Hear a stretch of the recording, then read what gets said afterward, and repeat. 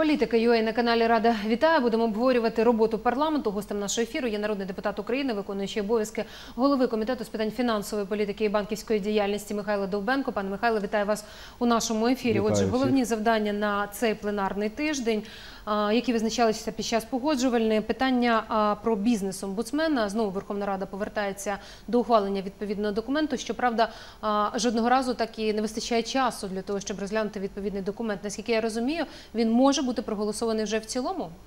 Е, Так, ми його е, собі запланували для розгляду в цьому пленарному тижні, але е, акценти все-таки робимо на дещо інших законопроектах. Найперше, у нас цього тижня є дуже е, важливе питання це е, законопроекти про мову.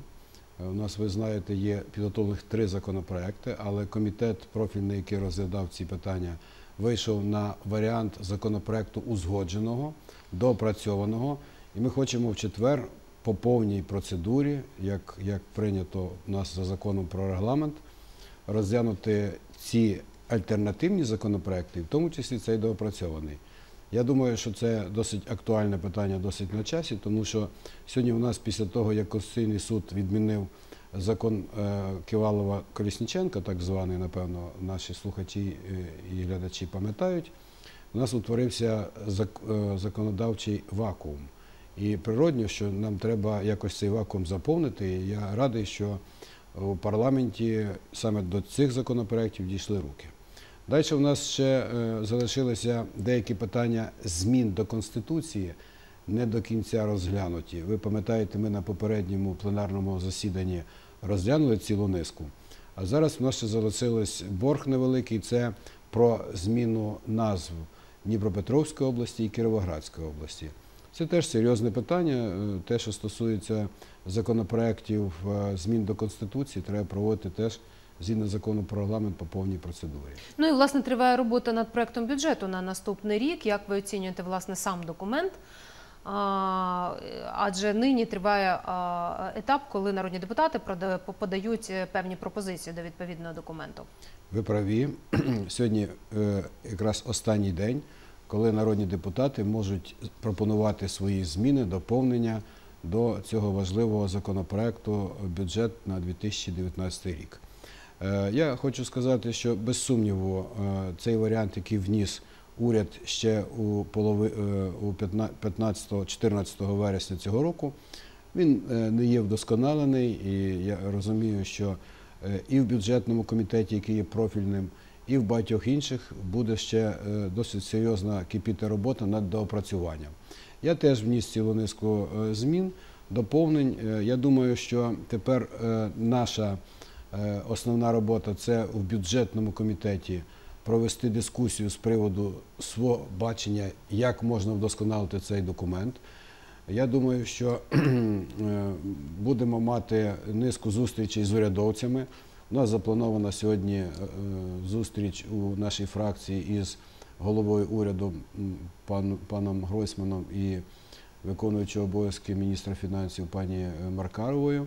Я думаю, що якраз от, от це вже якраз є та робота в парламенті, якою ми маємо займатися, вдосконалюючи цей законопроект. А, Проект буде а, узгоджуватися з усіма фракціями, з усіма політичними силами. А от, власне, а, насамперед він має бути узгоджений з міжнародним валютним фондом, адже МВФ вимагає збалансованого документу. Ви праві. Е, Він вимагає збалансованого. Не обов'язково е, ми повинні е, весь законопроект е, узгоджувати з Міжнародним валютним фондом. Так питання не стоїть. Е, Стоїть питання збалансованості. І якщо ми голосуємо за збалансований законопроект, то це і влаштовує Міжнародний валютний фонд, тому що Міжнародний валютний фонд не хоче втручатися в наші законодавчі процедури.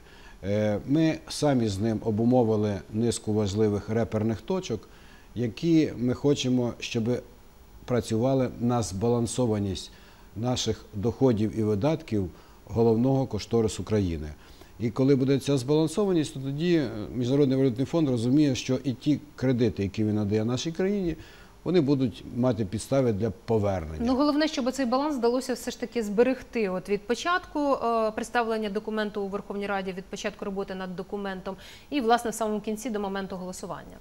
Так, е, з одного боку, я хочу сказати, що Нібито вже за 4 роки, е, скільки раз ми вже розглядали законопроект про бюджет на наступний рік, вже ніби і десь е, відпрацьована система роботи, бо тут я хочу сказати, є окрема виписана процедура, яким чином має розглядатися такий законопроект. З іншого боку, я розумію, що наш цей бюджет на 2019 рік це виборчий бюджет. Ми будемо мати і вибори президента України весною, пам'ятаєте, і будемо мати вибори парламенту. І природньо, що е, нотки певні, які вже стосуються якихось передвиборчих акцентів, звучать. Це може Ну, дещо зокрема, про з приводу соціальних стандартів підвищення, хоча уряд також передбачає підвищення Е, соцпоказників. Е, Я вам хочу сказати, і це і не тільки.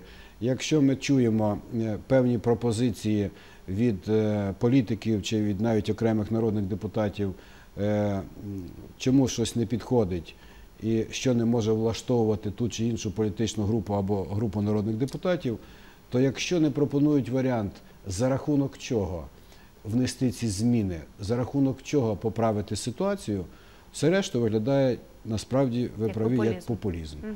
І тому е, от, от тут оці нотки, які нам вже кажуть, що от, от таке може бути.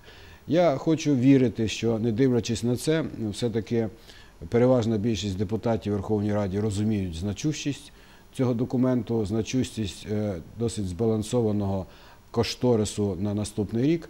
І я думаю, що ми до грудня, як і, як і завжди, е, пройдемо гідно цю нашу е, частину роботи парламентської і людям і країні запропонуємо цей кошторис на де- на 2019 Ну, рік. от принаймні, якщо ми говоримо про збільшення соціальних показників, то е, ВВП залишається на тому ж рівні 3% у Е. порівнянні із нинішнім роком. Так, хоча ми планували 3%, зараз ви знаєте, ми виходимо десь на 3,5%.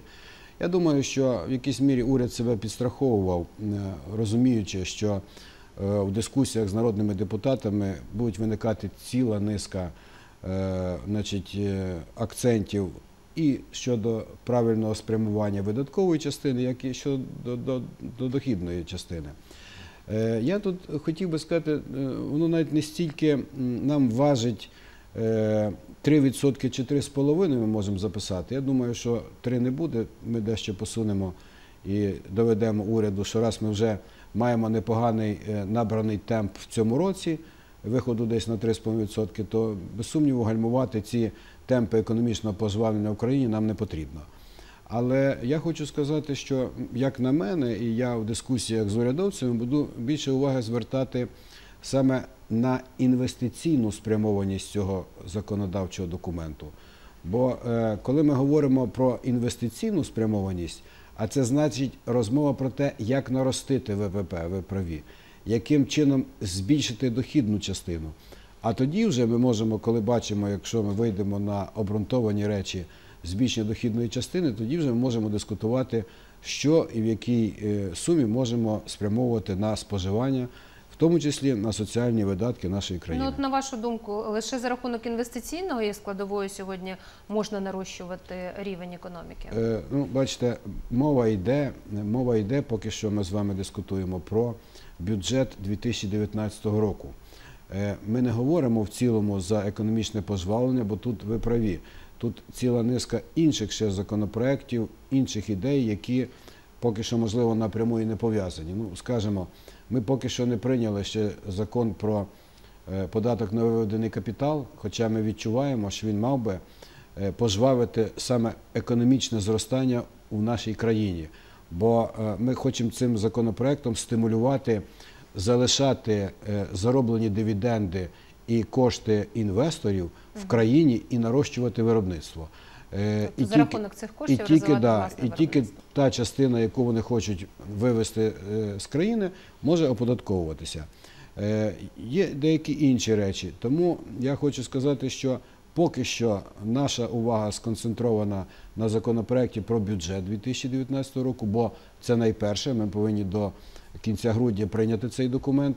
Інші новації, які будуть стосуватися можливих змін в оподаткуванні, Ну, а, зокрема, а, інші новації, навіть не новації, ми мали б до цього прийти вже набагато раніше. А велика приватизація. Так. від Ми- якої ми також очікуємо серйозних надходжень до бюджету. До речі, в бюджеті зафіксована там цифра е, більше 20 мільярдів. Е, І ми якраз закон відповідний для цієї роботи ми прийняли. І ви знаєте, що в цьому законі ми вивели е, процес в дві частини. Є так звана велика приватизація і так звана мала приватизація. Малу приватизацію ми хочемо пройти за спрощеною процедурою, щоб швидше можна було оці добрі речі для країни робити і не відкладати. А велика приватизація, да, дещо ускладнена процедура, але сьогодні вже законодавче підґрунтя для цієї роботи сповна сформоване.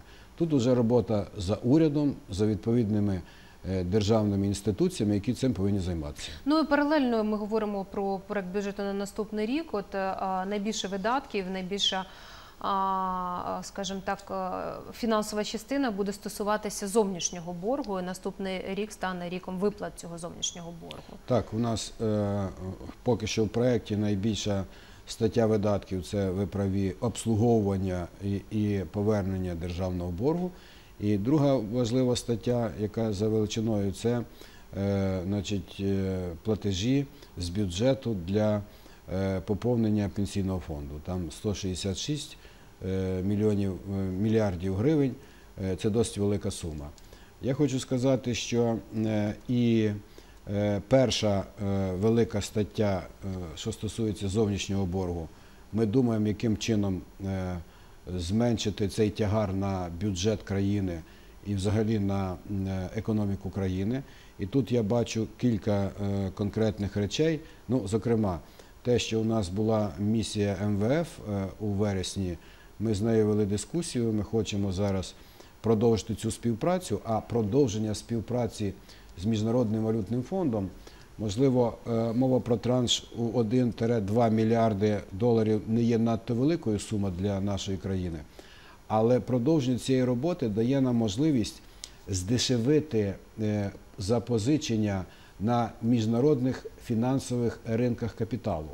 Е, Ми можемо отримувати, за- залучати кошти не по 10, 11, а то і більше відсотків, а ми можемо залучати за зниженими відсотками 7, 8, 9 відсотків. А при такій великій, е, великому обсязі боргу це значні економіч, економії для е, бюджету.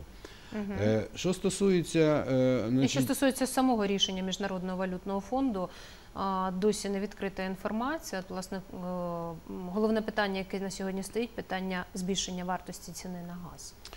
Е, Та місія, е, яка була Міжнародного валютного фонду у нас, вона працювала півтора тижня, і в основному по ми всіх акцентах з ними вийшли на попередні домовленості.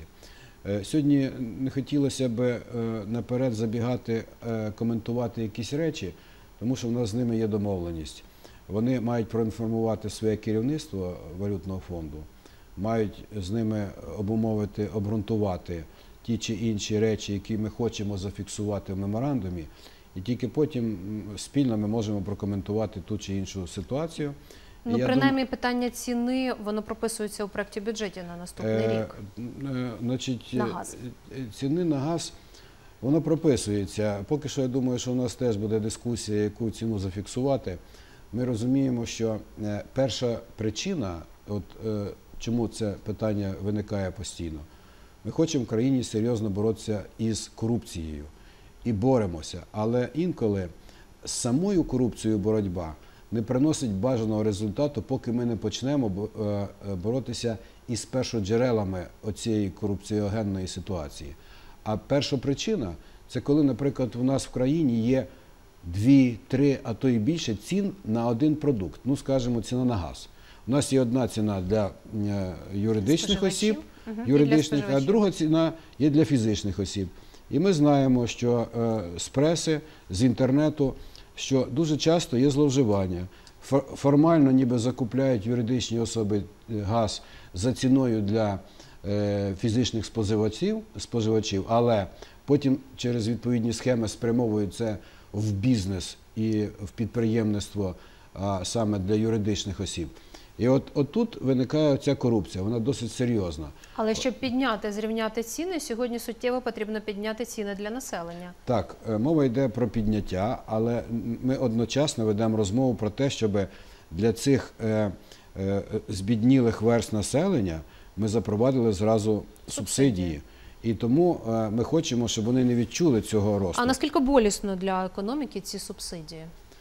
Е, Ну, я вважаю, що на сьогодні е, е, система роботи через субсидії значно краща для, для населення, ніж до цього була система роботи субсидії на НАК Нафтогаз.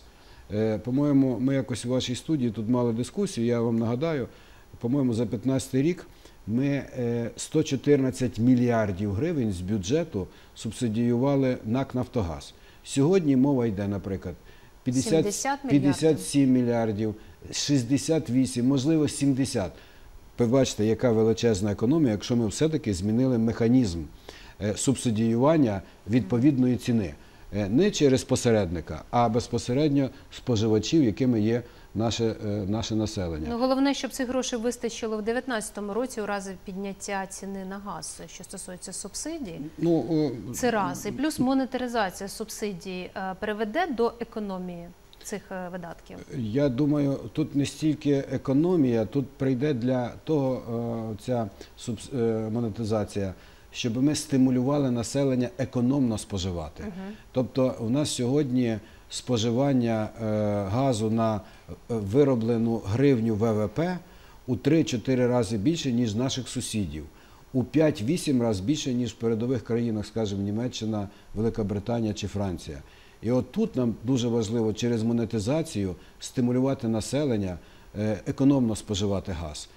Бо зекономлені кошти вони будуть мати можливість використати на інші комунальні послуги. І я думаю, що це е, буде їх стимулювати значно. Ну і стосовно е, ще економічних показників, от ми згадали про е, ВВП на рівні 3% при інфляції 7,4%. На вашу думку, це реалістичні цифри?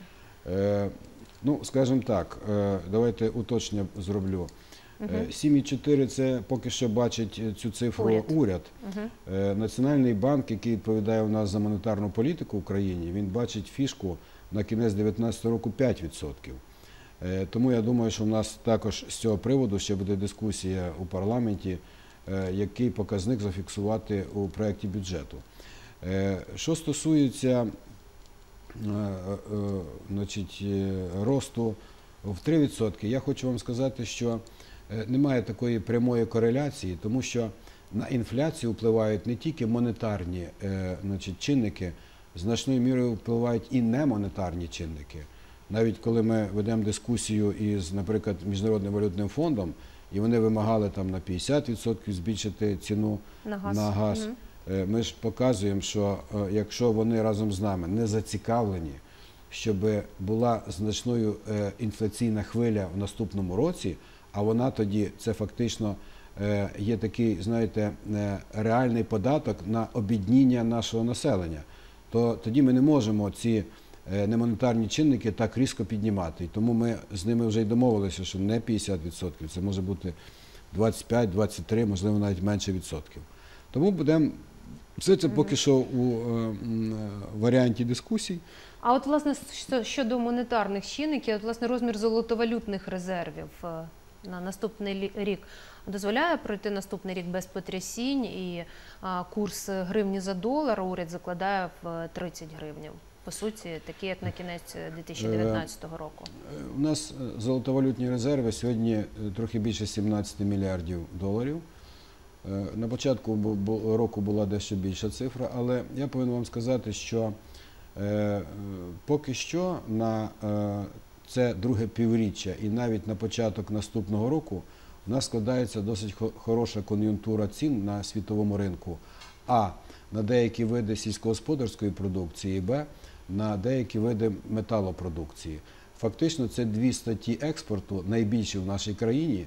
І якщо ця кон'юнктура цін буде досить позитивною, то я вважаю, що е, ми зможемо а поповнити е, наші золотовалютні резерви, і б е, все-таки дати можливість курсу не мати такої великої волатильності, а навпаки, триматися в рамках тих цифрових показників, які записуються і урядом, і Національним банком. Дякую вам за розмову. Михайло Довбенко, народний депутат України, виконуючий обов'язки голови комітету з питань фінансової політики і банківської діяльності. Дякую за розмову. Дякую глядачам, що були разом з нами. Залишайтеся на парламентському і далі. Побачимось.